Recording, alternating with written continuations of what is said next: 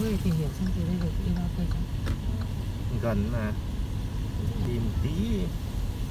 Mày giấu mà cứu bây giờ mình phải đi thưởng thức ờ, trước khi về đến nhà. Tận 32 km rồi Tiếng này đi nhanh rồi bao nhiêu đi đi đến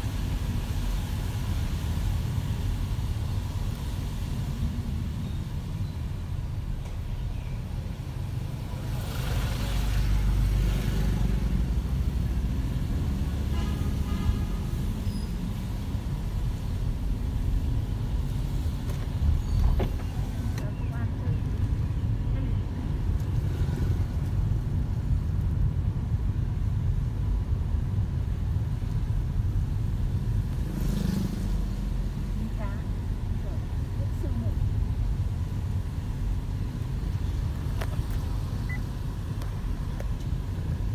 như là cái phở sáng mình ăn trứng ngon nhỉ